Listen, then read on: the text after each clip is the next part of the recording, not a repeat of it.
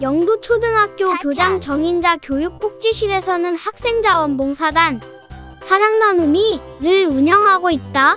4에서 6학년 15명의 학생들이 참여하고 있는 자원봉사단은 자원봉사자 기본교육을 시작으로 지역 내 봉사센터, 복지관, 봉사단체 등과의 연계를 통해 다양한 봉사활동을 진행함으로써 자원봉사의 참 의미를 알고 함께하는 소중함과 함께 뜻깊은 시간을 보낼 수 있었다.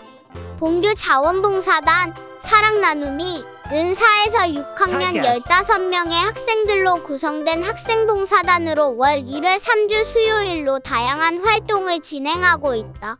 올해의 첫 활동으로는 봉사자 기본교육으로. 자원봉사의 의미, 필요성, 활동 사례, 봉사의 종류 등에 대해 알아보는 시간을 가졌다. 전에는 몰랐던 새로운 내용들과 알고 있던 사실들을 한 번. 더 확인하는 계기가 되었으며 봉사자로서 어떤 마음가짐을 가져야 하는지 배우는 의미 있고 보람된 봉사활동을 준비하는 기회를 가졌다. Typecast. 또한 지역 내 봉사단체와 연계하여 환경정화 활동, 재능기부 활동 교내 환경정화 사업의 일환인 벽화 그리기 등 다양한 봉사활동을 진행할 수. 있었다. 앞으로 지역사회와 연계 다양한 재능기부 활동으로 사랑나눔이 일정이 진행될 예정이다.